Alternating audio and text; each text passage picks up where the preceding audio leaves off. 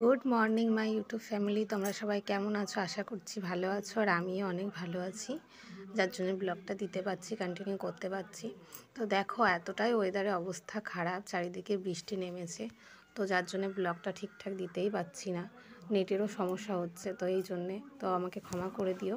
দেখে ছেলে টিভি দেখছিল, তো টিভিটা একটু ই করে দিচ্ছিলাম। এটা গত দিনের ব্লগ, ভিডিও করে রেখেছিলাম আর কি, ছাড়তে পারিনি। তো দেখো, এটা গতকালের সন্ধ্যার ব্লগ। সবাই মিলে চা খেতে বসে গেছি, ছেলে আমি, ওর বাবা, তো সেটা একটু তুলে তোমাদেরকে দেখালাম।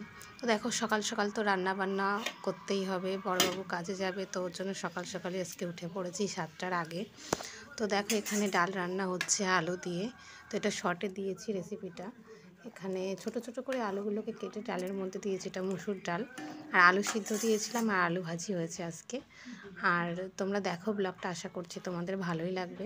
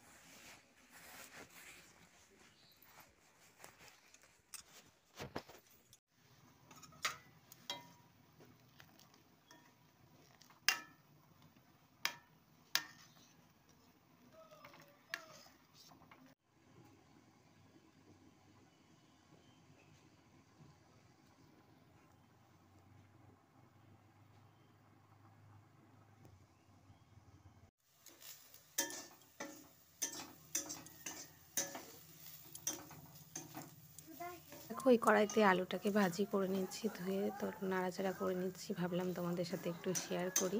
তো বর্ষার মধ্যে এরকম ডাল আলু ভাজা খেতে আমার কিন্তু দারুণ লাগে। আমার সত্যি বলতে জানো না এই সিম্পল রেসিপিগুলো খেতে বেশি যেন ভালো লাগে। সিদ্ধ আর ডাল, আলু ভাজি, এর সাথে একটু ডিম ভাজি হলে আর কিচ্ছু লাগে না। তো এগুলোই বেস্ট আমার মনে হয়। মাংসটা একবার থেকে দুইবারে বেশি আর খেতে পারি না। তো এটাই মনে হয় ভালো লাগে। জানি না কার কেমন লাগে, অবশ্যই বন্ধুরা কমেন্টে আমাকে জানিও। কার কেমন খাবার খেতে ভালো লাগে আর কি, অবশ্যই আমাকে জানিয়ে এদিকে দেখো, হাঁড়িতে আছে এক হাঁড়ি গরম ভাত, এখানে ডাল আর এখানে আলু ভাজি হচ্ছে। ছেলের জন্য আলু সিদ্ধ দিয়ে দিয়েছি। তো সেটা দেখানো হয়নি তোমাদেরকে। তো সকালের দিকে না বৃষ্টি হয়েছে ওয়েদারটা ভীষণই বাজে। এখনও বাসি কাজকর্ম করতে পারিনি, আগে রান্নার দিকেই ঢুকে গেছি। তো মানে ফোনের এতটাই বাজে অবস্থা যে হাঁটা চলা করা যাচ্ছে না। ওর বাবা তো একদিন জল আনতে গিয়ে পড়েই গেছে আর আমার নতুন বালতিটাও ভেঙে গেছে। তো আমাদের সবজিগুলো অনেকটাই জলের মধ্যে ডুবে গেছে অনেক কষ্ট করে দুজন মিলে লাগিয়েছিলাম। জানি না কী হবে আলুগুলো উঠবে কিনা। খুবই টেনশনে আছি। তো তোমাদেরকে অবশ্যই দেখাবো সেটা। আজ না কালকের ব্লগে দেখাবো। তো দেখার দিকে আলু ভাজা প্রায় হয়ে এসছে। তো এখানে তেলটা কড়াইটা ধুয়ে নিয়েছি। তেলটা একটু গরম করে নিচ্ছি, কারণ এখানে আরেকটা জিনিস তোমাদেরকে দেখানোর আছে, সেটা দেখো।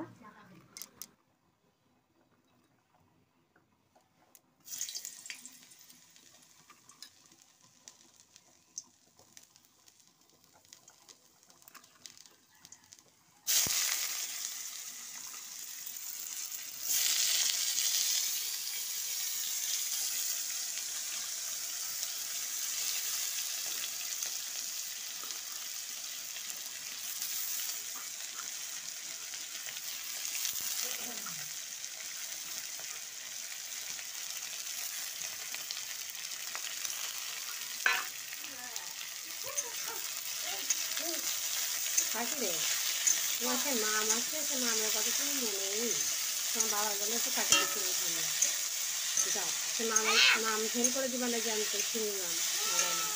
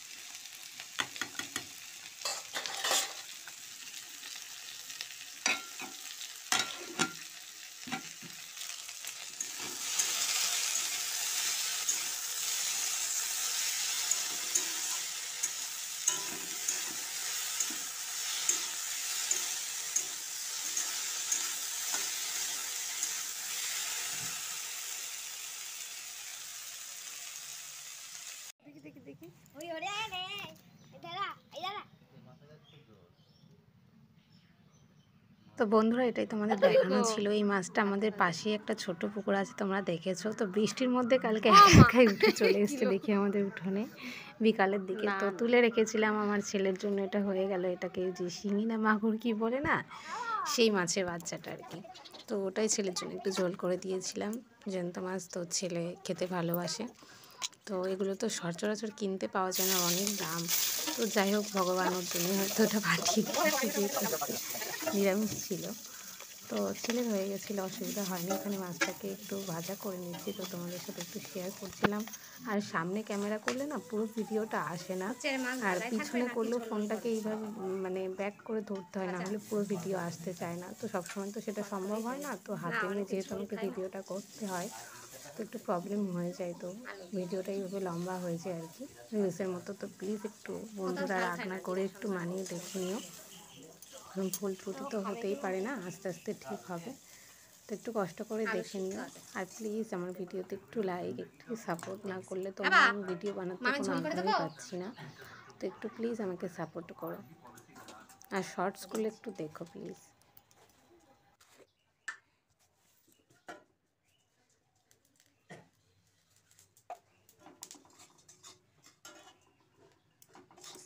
আজকে আর স্নান করতে হবে না।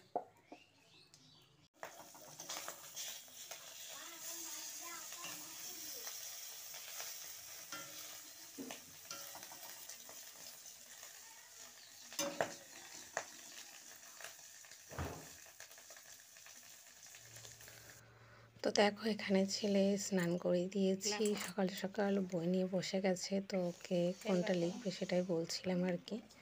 এখানে পড়াশোনা শুরু করে দিয়েছে। আজকে যেহেতু যে মেয়েটাকে পড়ায় ওর পরীক্ষা শেষ আর কি ফাইনাল চলছে ওর পড়া নেই তো ওই জন্য ওকে এখনই পড়িয়ে নিচ্ছি। তো দেখো ছেলে আমার লিখছে পড়তে বসে গেছে।